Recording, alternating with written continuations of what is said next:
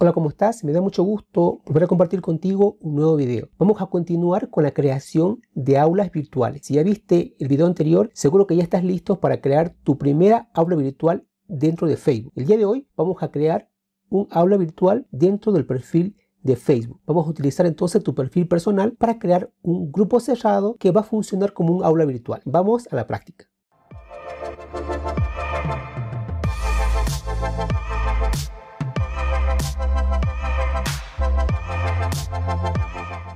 Ok, nos vamos al perfil personal de Facebook y le damos clic en crear. Aquí vamos a escoger grupos. Escogemos el perfil personal de Facebook porque todo el mundo lo tiene. Entonces es mucho más fácil empezar haciéndolo aquí. Posteriormente puedes optar por crear una página personal y ahí también podrás crear tus grupos que, que van a funcionar como un aula virtual. Le pongo un nombre a mi grupo, puedo invitar a mis contactos para poder incluir a tus estudiantes dentro del grupo, es importante que ellos sean tus amigos. Les tienes que enviar una solicitud de amistad para poder incluirlos a ellos dentro del grupo. Una vez que ya los tengas incluido como amigos, aquí los puedes buscar por su nombre. Voy invitando a todos los que van a conformar este grupo. Y el tercer paso es elegir si va a ser un grupo privado o un grupo público. Recomiendo que el grupo sea privado para que los contenidos que se vayan a publicar dentro del grupo solo sea visible por los miembros del grupo y no sea visto por otras personas. Y le hacemos clic en crear. Y ya tendríamos listo nuestro grupo cerrado que va a funcionar como un aula virtual donde vamos a subir actividades, tareas y todo lo que vamos a realizar dentro de la clase. Lo primero que vamos a hacer va a ser cambiar el fondo. Vamos a subir una imagen que, sea, que esté en relación a nuestra materia. Mi materia se llama gobierno electrónico. Pongo una imagen que haga referencia a la materia. Una vez que ya hemos subido la foto, nos vamos a ir a más y vamos a configurar. Vamos a ir a edición, configuración del grupo. Nos vamos a, nos vamos a ir aquí para configurar todos los elementos que van a ser parte de nuestra aula virtual.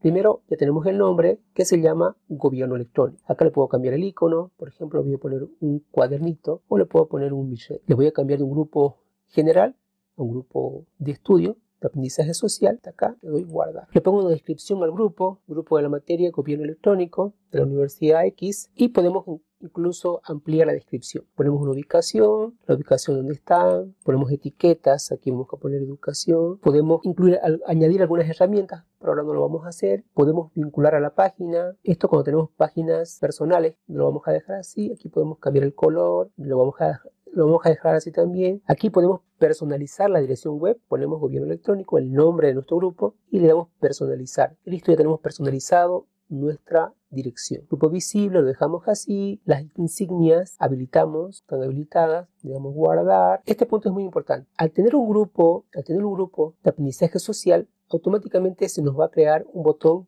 que se llama unidades.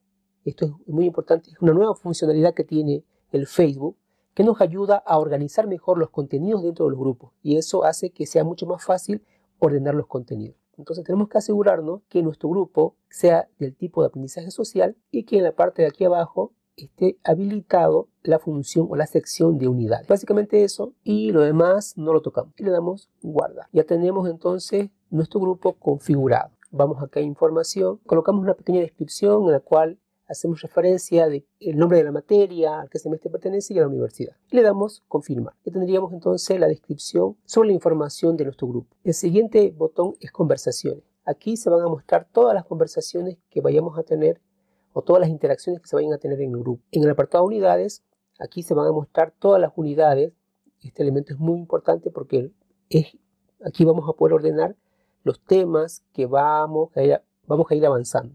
Aquí están los miembros, Aquí se van a visualizar todos los miembros que vayamos a invitar y tenemos también acá al lado derecho las personas a, las cuales podemos invitar también. Esto, como dije en un inicio, necesitamos que los estudiantes nos envíen solicitud de amistad y nosotros le podamos incluir a través de estas invitaciones especiales. En eventos podemos crear acá eventos, por ejemplo, alguna, un examen, algún taller, alguna conferencia, lo podemos hacer a través de eventos. Acá en fotos podemos subir cualquier tipo de fotos, en videos lo mismo, los videos grupales lo vamos a ver acá. En modelar grupo, aquí vamos a ver la actividad de cada uno de los estudiantes, qué es lo que han subido, acá podemos ver la hora, las publicaciones y todo lo demás. Y finalmente la calidad del grupo, aquí más o menos, acá nos muestra las infracciones que pueda tener nuestro grupo. Básicamente son los botones del menú que vamos a utilizar en este grupo que va a servir como una plataforma virtual. Vayamos entonces a configurarlo. Nos vamos a ir a unidades. Esta, este apartado es muy importante para ir configurando nuestro grupo. Vamos a crear una unidad. Nos vamos a unidades y vamos a crear una unidad. Ok, la primera unidad que vamos a realizar es bienvenidos. Le damos crear. Es muy importante crear las unidades para que vayamos organizando mejor los contenidos. Entonces acá le damos la bienvenida a los estudiantes. Podemos nosotros obviamente ampliar esta descripción, ponerle más detalles, podemos pedirle a los estudiantes que se presenten, que respondan cuáles son las expectativas que tienen del grupo. La idea es que los estudiantes se animen a compartir en el grupo. Debemos guardar. Para crear una nueva unidad nos vamos a unidades y aquí nos va a salir el botoncito crear unidad. Vamos aquí a crear la segunda unidad que se va a llamar tema 1. Ok, aquí ponemos entonces, creamos una, una unidad que se va a llamar tema número 1 y le vamos a poner como, como descripción contenido de la unidad 1 y le damos crear. Ok, tenemos la unidad 2, tenemos el tema número 1, aquí podemos crear un tema. Dentro del tema número 1 podemos crear el tema, por ejemplo, que se va a llamar conceptos básicos. Vamos a crear entonces el tema que se va a llamar conceptos básicos. Le damos guardar y ya tenemos el tema de conceptos básicos aquí. Aquí lo que podemos hacer es subir, por ejemplo, un documento donde van a estar los conceptos básicos. Buscamos nuestro, subimos entonces el documento. Para ver cómo va quedando, nos vamos a unidades. Aquí vamos a ver, por ejemplo, bienvenida. Aquí los estudiantes se van a presentar. Después tenemos la unidad 2, pero, la unidad 2, donde está el tema número 1 y está la, la documentación que hemos subido del tema número 1. Acá podemos subir una foto, podemos subir un video, por ejemplo una foto. Puedo agarrar, subir una foto cualquiera y la publico. Nos vamos a unidades, vamos a crear una nueva unidad, le vamos a poner tema número 2 y la descripción. Hacemos clic en crear y vemos, ya tenemos creado nuestras unidades dentro del grupo del Facebook. Tenemos la bienvenida, tenemos el tema 1 y el tema número 2. Aquí en bienvenida, por ejemplo, podemos subir un video. Voy a buscar un pequeño video que tenga. Busco un video, le ponemos la descripción y le damos clic en publicar. Hemos subido nuestro video, vamos a ver, nos vamos a bienvenida, aquí está el video, bienvenidos, y aquí está, ¿no? Aquí podemos ver un pequeño video de bienvenida del grupo. De esa forma entonces podemos subir videos, podemos subir otro tipo de archivos. Veamos en la unidad 2, en el tema número 1, vamos a publicar aquí un documento. Podemos subir, por ejemplo, el tema número 1, buscamos, ponemos material y le damos publicar.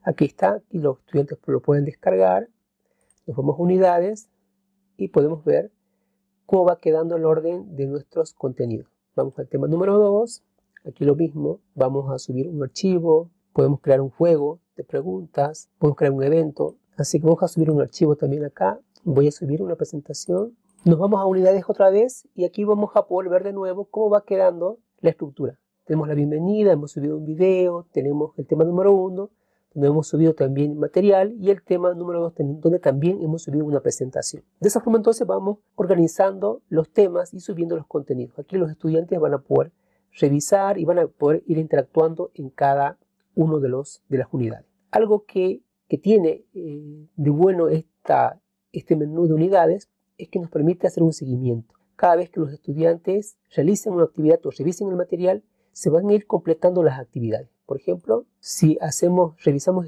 este contenido, podemos darles en listo. Significa que ya vimos el material y nos va a salir esto. Aquí podemos colocarle una pequeña descripción, cumplido, y lo publicamos. Eso quiere decir que la unidad 1 ya está, está cumplida. Si ingresamos, nos vamos de nuevo a unidades, vamos al tema número 1, revisamos el material que hay, le damos listo, igual aquí, le podemos poner, le podemos poner cumplido y publicar. Y aquí podemos ver el seguimiento que tenemos de las actividades que tenemos dentro del grupo. De esa forma podemos tener un control más adecuado. Nos vamos de nuevo a unidades, vamos al tema número 2, revisamos el material y le damos listo. Aquí podemos poner tareas, alguna actividad que el estudiante tiene que realizar. Nos sale la validación y aquí le hacemos también cumplido, 3 de 3. Entonces de esa forma podemos hacer el seguimiento de todas las actividades que están dentro del grupo. Aquí están, todas las actividades están cumplidas y nos sale su respectiva validación.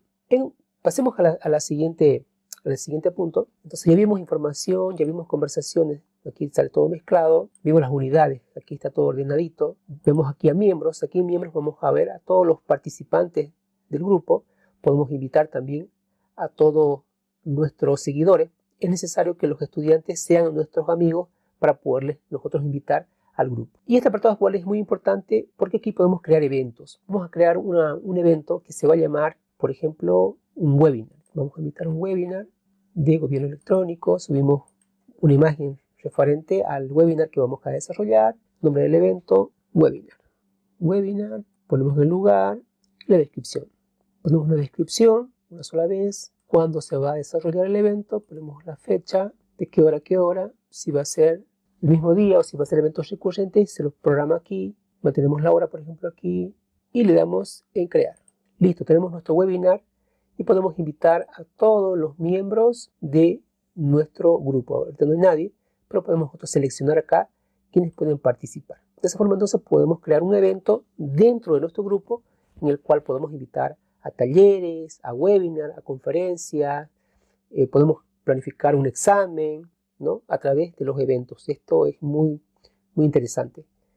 Vamos atrás, ya hemos creado nuestro evento y veamos entonces a continuación, podemos crear los eventos que nosotros queramos, dos, tres, cuatro, según las actividades que, hay, que hemos planificado para la gestión. En video vamos a ver todos los videos que tenemos, solamente tenemos uno, el video de bienvenida que he subido. Aquí en fotos van a estar todas las fotos que vayamos a subir. Aquí podemos subir un álbum de fotos, podemos subir más videos. En estadísticas del grupo esto es muy interesante porque aquí vamos a poder ver la cantidad de estudiantes que han realizado cada uno de los temas, podemos ver la frecuencia, la hora de visita, en fin, una serie de datos que todavía no están disponibles, pero que esta herramienta les va a servir para eso. Los videos en grupo son los, los videos grupales que se puedan hacer. Podemos hacer, eh, transmitir un, documental, un video educativo para que todos lo podamos ver en grupo. Aquí en moderador simplemente vamos a poder ver cada una de las acciones que se han desarrollado dentro del grupo para poderlas eh, monitorear. Y finalmente está la calidad del grupo, que es una calificación que le da el Facebook a nuestro grupo. Nos dice que no tenemos infracción y que todo lo que hacemos en el grupo está correcto. Básicamente son las funcionalidades que tiene aquí el menú del grupo cerrado en el Facebook. Como ven, es muy fácil poder gestionar las actividades dentro de clase. Eh, podemos aquí colocar, por ejemplo, un menú donde pongamos actividades en clase, otro menú donde pongamos exámenes, otro menú donde pongamos, no sé, este, actividades extra. De esa forma entonces podemos configurar toda nuestra aula virtual de una forma sencilla y práctica. Ha sido un gusto compartir contigo y nos vemos en un próximo video.